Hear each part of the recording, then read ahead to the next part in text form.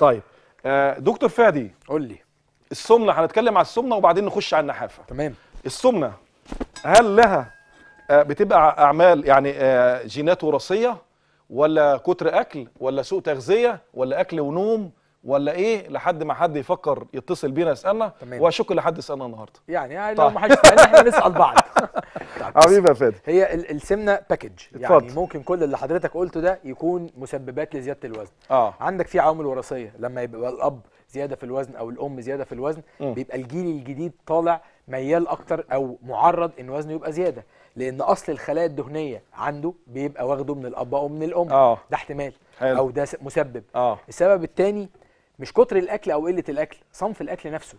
آه. لأن دي آه بلاحظها وبشوفها مع ناس كتيرة بتبقى متخيلة إن اللي هيتخن هو كتر الأكل بس أو قلة الأكل بس أو يقول لك أنا باكل قليل ليه أنا تخين آه. هي الفكرة أنت بتاكل ده أنا ده أنا مش قليل ده أنا آه. بشم الأكل بدخن. بدخن حلو. آه. ودي, ودي غالبا بتبقى كل الناس متخيلة كده. حلو. الفكرة بقى أنت بتاكل إيه؟ امم وبتاكل كمية قد إيه؟ آه. وبتاكل إمتى في اليوم؟ حلو. وهل بتبقى مخلي بالك إنك بتعمل مجهود رياضي بدني؟ بتحرق بتحرق أنت بتحرق بتاكله؟ الأكل اللي أنت بتاكله ولا لأ؟ حلو الكلام انت ممكن يبقى كمية الأكل اللي بتاكلها مم. أو السعرات اللي داخلة قليلة لكن بس أنت ما. بتحرقش.